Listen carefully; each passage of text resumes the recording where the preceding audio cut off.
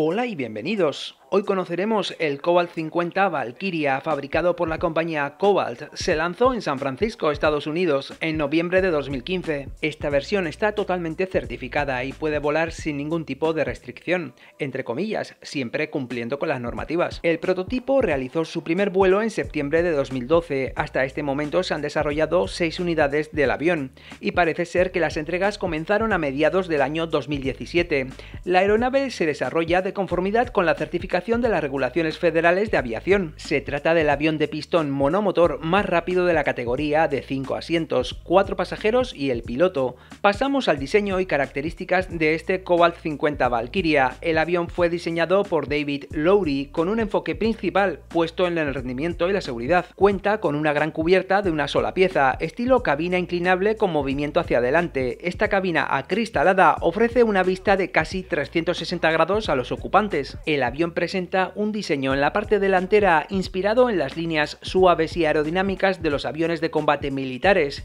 Viene con un tren de aterrizaje retráctil estándar, incluye un sistema antihielo y por otra parte también equipa un paracaídas balístico para toda la estructura en caso de que nos llevemos algún susto. En esos momentos, este paracaídas se desplegaría en caso de que haya una falla catastrófica o pérdida completa del control de la aeronave. Según tenemos entendido, lo llaman sistema IPS y por ejemplo también lo equipa el ultraligero y con A5 entre otros. Todas estas aeronaves las pueden encontrar en este canal, así que si sois nuevos y es la primera vez que pasáis por aquí, suscribiros. Por otra parte, si eres un veterano, déjanos ese like tan deseado por todos los youtubers. Las dimensiones exteriores de la aeronave incluyen una longitud de 9,1 metros, equivale más o menos a unos 30 pies, y el ancho o envergadura es exactamente igual. La altura exterior se quedaría en los 3 metros, unos 10 pies. Cabe destacar que el exterior de la aeronave viene con acabados personalizados. Por algún motivo parece ser que los colores oscuros están siendo más solicitados. En cuanto a los compuestos, pasamos al interior de la cabina y la aviónica de este Valkyria viene equipada con un sistema de aviónica Smart Deck integrado con dos pantallas certificadas por Sterling,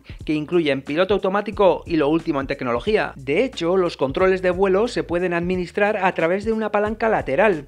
Dentro de la cabina también tenemos disponible un pequeño espacio para almacenamiento, ya sea para palos de golf, esquís o maletas, pudiendo transportar un máximo de 30 kilos. También contaremos con asientos en cuero cosidos a mano por antiguos artesanos de la empresa Hermes. Estando dentro estaremos totalmente oxigenados y con la cabina totalmente presurizada.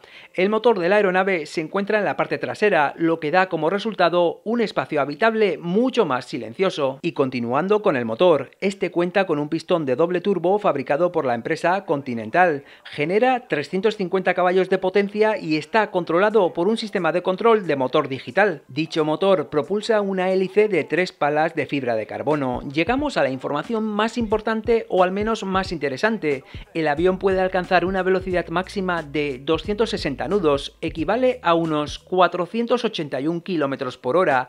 Nos ofrece un rango de vuelo de 1050 millas náuticas, el equivalente a 1940 kilómetros, pudiendo transportar una carga útil de 378 kilos. Esto incluye a los 5 pasajeros y los 30 kilos de equipaje. He dicho que ofrece un rango de vuelo de 1944 kilómetros. Para los que sois nuevos y no sabéis qué es esto, bueno, puede realizar 1944 kilómetros sin tener que repostar. Antes de darles el precio, les quiero recordar brevemente que estamos en x.com, la red social del futuro y la que más está creciendo. Pero volvamos a nuestro avión. Para el despegue serían necesarias pistas de 1900 pies, vienen a ser 580 metros, mientras que para el aterrizaje necesita 1100 pies, lo que serían únicamente 336 metros.